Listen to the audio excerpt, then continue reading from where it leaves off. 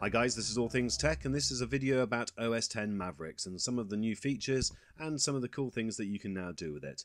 So first of all we're going to talk about QuickTime Recorder. Now one of the things that used to annoy me an awful lot with this was the fact that you used to have a little square box that was up no matter what you did. Now up in the top right corner is the control so you can turn it off and you can and stop recording just by pressing that.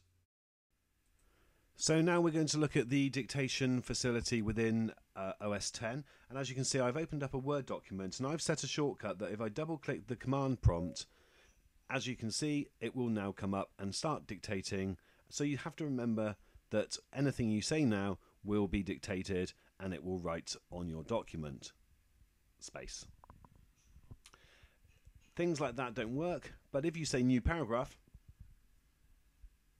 as you can see it works. So I found the short test that I've done with the dictation facility very quick. It works well. There aren't too many mistakes. In fact, there are probably just as many mistakes as there are with the off the shelf ones which cost $20 or $30. So um, it's good facility to try, have a go at it and see what you think and obviously please leave a comment below with how you get on. So this has been the dictation facility. As you can see sometimes it pauses and will it will remember all of this and it will come in in one large chunk. So I'm just going to stop this and pause and see whether that works.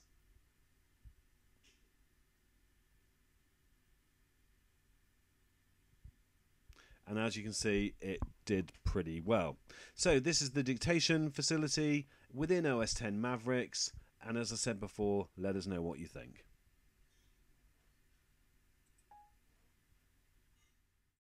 Extended desktop is where you can use your Apple TV monitor as a second display. Now this is really good if you want to get a movie running for someone else while you're still working on your computer. Just drag it across. Once it's enabled via the um, AirPlay logo at the top, it will work really smoothly. One facility that's been needed for a while is tabs in Finder. So all you need to do is go up to View and Show Tabs bar and then you'll see that a little plus will appear in the right hand corner. When you've got that open you can click it as many times and create as many tabs as you want. And very similar with Safari when you're closing tabs you can literally just press the X and they'll disappear also. So a really good way of sorting out your files. Okay, so in OS 10 Mavericks, there are some hidden wallpapers that you can access, and to get those, you need to go to Finder and then to Go and type in forward slash library forward slash screensavers forward slash default collections, and that will come up with four options, four different types of screensaver um, or screensavers or wallpapers, and you can get access to all those. There's animals, there's cosmic, there's um, the aerial shots and you know a nice range of lots of different photographs. So if you're someone that likes to change this often you can see that there's lots of different nice pictures that you can choose from. And that's not normally accessible from the main wallpapers option um, but here you can get access to them very simply. So there you go. That's how to access the hidden wallpapers and so you can always keep your desktop nice and fresh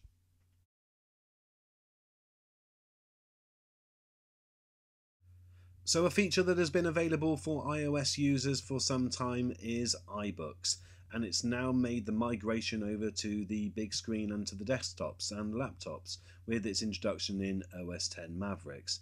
Now all the usual features are there, you can sort search by uh, book title, by author, by category, uh, but there's a couple of other useful features which you have been able to use before but I think will probably become more useful when using them either on a laptop or on a desktop. And let's imagine, for instance, you're using um, I, a book to study and you want to make notes. You may well be reading it on your iOS device, but making notes is a little bit more cumbersome. But when you're using it on a desktop or a laptop, it becomes very, very easy because all you have to do is use the mouse to highlight the text as shown and then add a note. You can add, you know, remember this, look up this, and all the different notes that you would normally add when you're studying. So this will sync with your iOS device as well. So any notes that you do make within these sections, they will appear on your iPad or your iPhone.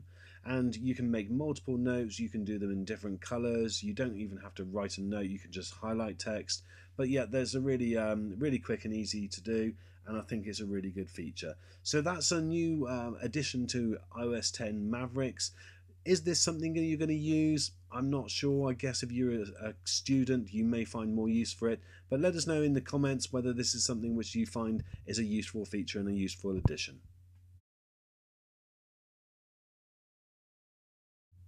Again, with organisation at mind, the new OS 10 facility of adding tags to your files is a really simple one, but it really makes things easier to find at a later date. So, for instance, you can add things for, give it the title of work or um, different people in your family, you can name them after them, but very easy to do. All you have to do is from Finder, right click on any of your uh, saved files and it will um, it will work. Now, when you're saving new files, when you're going on and creating it now, you'll get the option straight away of adding the tag. But this is a way around for older files. Just right click on the fol on the folder or the file, and you'll see the option to add the tag.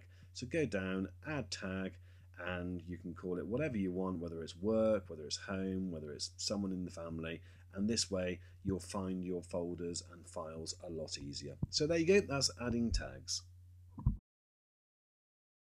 Again, another feature which has made its way over to the um, from iOS over to the main computer now is the Maps facility, and so the new Maps uh, utility will give you live traffic updates as well. So you can see if there's an incident on a motorway or on a road that it knows about, and it will tell you about those instances.